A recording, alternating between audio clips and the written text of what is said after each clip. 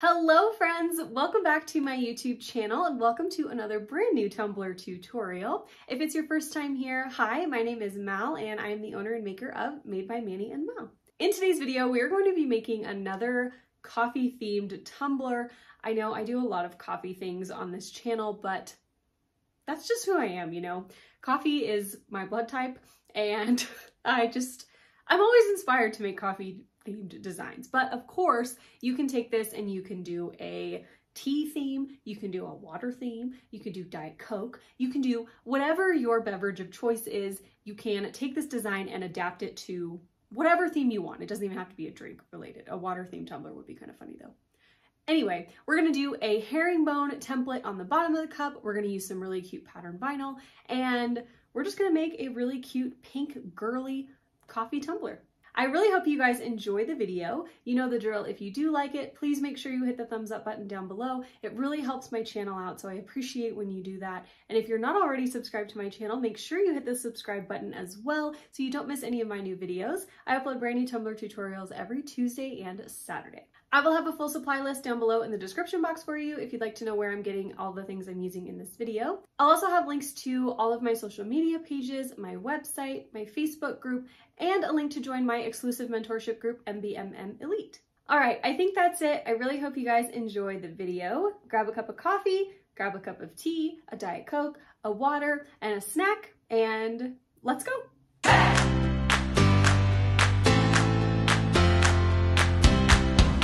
We are using a 20 ounce skinny mug from Craft Haven for this coffee tumbler. And we're going to start by painting the bottom half of our tumbler with this prickly pear spray paint. I'm going to paint the top half of our cup white. Um, we're only going to use the base paint for a portion of this design, but I'm going to base paint the whole thing just as you can see here. And then we are going to cover half of the top half of our cup with this super cute girly iced coffee vinyl from Peachy Olive Glitters. What we're going to do is start by splitting our cup in half vertically. So we're going to do on the bottom of the tumbler a herringbone design that goes around the entire bottom half, but I want to split the top half. We're going to do vinyl on one side and glitter on the other. So I'm just going to split the entire cup in half vertically, and then we will put this vinyl on one side. Make sure you measure to make sure that your halves are even, because if you're anything like me and you just eyeball it, they won't be even. So I always try to measure to make sure that my two halves are as even as I can get them.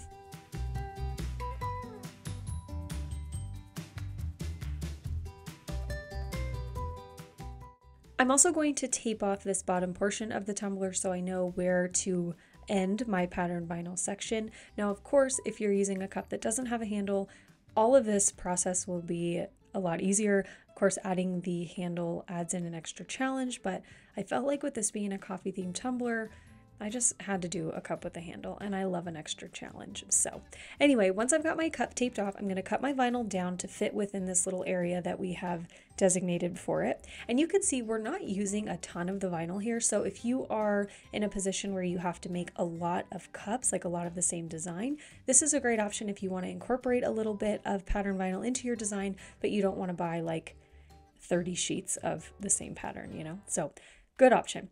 So what I'm doing here is adhering the vinyl the same way that I normally would. I've got a piece of blue painter's tape on one end and I'm using that to secure the vinyl on one side of the cup so that I can ensure that it's in the right place before I actually put the vinyl onto the tumbler.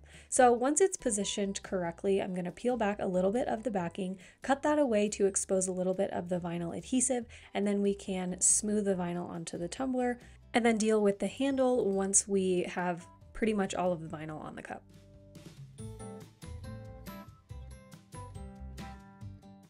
Once we get to the side with the handle, I'm going to take my craft knife and just cut little slits in the vinyl to work it around the handle. Now because this is a vertical split design and we've got our split, like our two seams meeting where the handle is, we don't have to worry too much about wrapping the vinyl like around the handle. We just want it to kind of flow into the handle um, easily, if that makes sense. So what I'm going to do once I've got that done, I'm going to cut all of the excess vinyl away. I'm using those pieces of tape as my guide to help me cut straight and on target. um, and then we will move on to the other side of the tumbler with our glitter.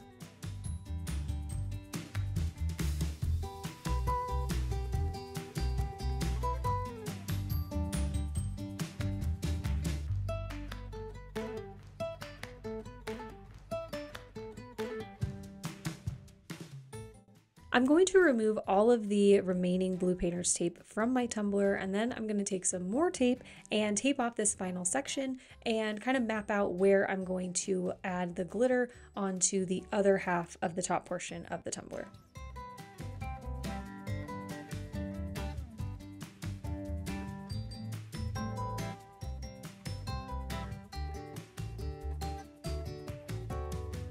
Now, even though we painted the top portion of our cup white, the spray paint didn't look very nice as you can see and I kind of changed my mind and decided I wanted to use this really pretty ivory paint. This is Flippin' Awesome paint from the Crystalac company so I'm going to paint that on my tumbler and use that as the adhesive for my glitter. The glitter we're using is Solstice from Peachy Olive Glitters. This is a glitter I have been very into lately. It's a really chunky, super pretty kind of creamy pink iridescent glitter Oh my gosh, I love it so much. And I thought that it went really well with the soft, girly images in the pattern vinyl that we used. So I put that all over the that half of our cup and the handle. So once I let that dry for about two hours, I'm gonna go in and seal my glitter using my 50-50 mix of water and the glitter glue from the Crystalac company.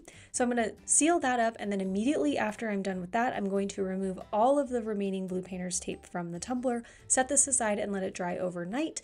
And now we are ready to move into the bottom portion of the cup, which is our herringbone pattern. I cut this pattern out of stencil vinyl, of course, and I just, as you can see here, I'm going to cut it down to fit this bottom half of my cup. I'm just doing that manually. Of course, you can measure it and just cut out what you need. For me, it was just easier to do it this way. Um, so once I've got it cut down to size, I'm going to cut away all of the white borders from my stencil vinyl, apply my transfer tape, and then apply this to the tumbler.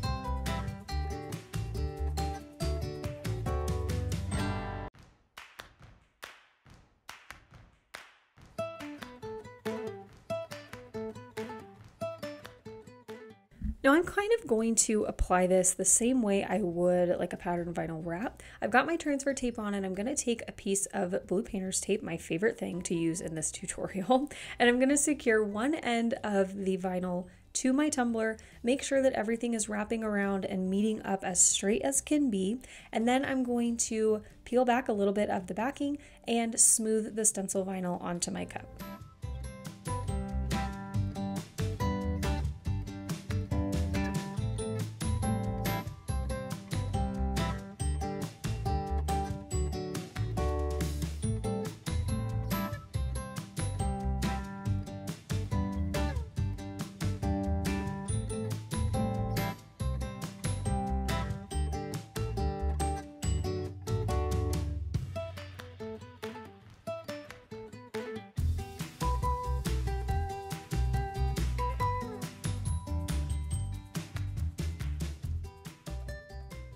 I decided I was just going to go all out with this girly pink coffee theme. So I'm going to use all different shades of pink and rose gold on this bottom herringbone section of the tumbler. All of these glitters are from Peachy Olive Glitters. I will have them listed down below in the description box along with a discount code for you. So I've got Neesa, Pinky Promise, High Drama, Poppy, Pink Peppermint, Make It Pink, Umbridge, and Pearl. So all different shades of pink. They're all relatively fine cuts. I don't have any super chunkies in there. I wanted them all to kind of be the same size, um, so they just flowed really nicely. So what I'm doing here is mapping out with a Sharpie where I'm going to place each color, and now I'm going to go in and apply all of my glitters. I'm going to work from darkest shade to lightest shade here, and now I did this tumbler before I figured out that I wanted to use Mod Podge on things like this. So I learned from my friend Rachel at Mitten Made Craft.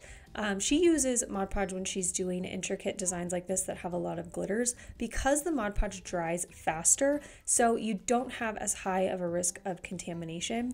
Now, the glitter glue takes a really long time to dry, so if you want to avoid contamination, I would recommend using Mod Podge or another adhesive that you like that dries a little bit more quickly.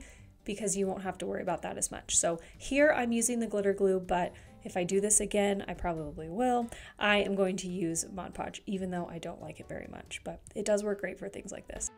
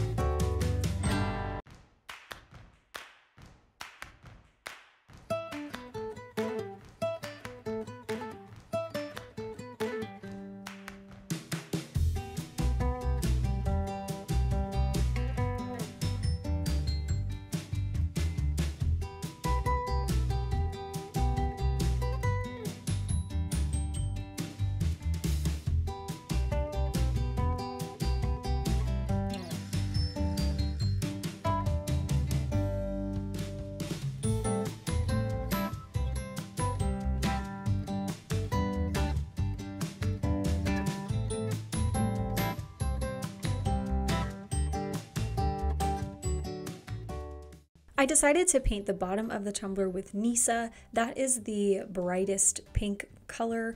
Um, you could go with any of them, obviously, but Neesa was like really speaking to me on this particular day.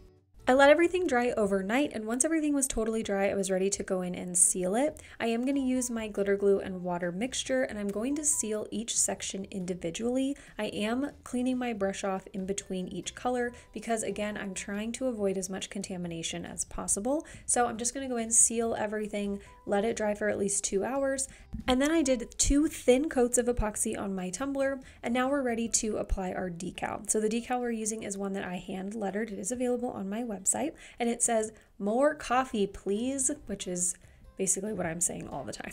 so for the offset, we are going to be using this really pretty opal vinyl from Tech Wrap Craft. For the top part of the decal, we're going to use regular Oracal 651 vinyl, of course in a really pretty soft pink color. So you can see here I'm applying this to our white glittered section on the top portion of the cup and I've got my transfer tape on and I'm just repositioning it until it looks right to my eye. I don't want it too close to the handle but I also don't want it to be like way wonky and off centered. So I just played with it until I liked where it was. And then I placed that down on the cup and now I'm going to place the pink portion on top.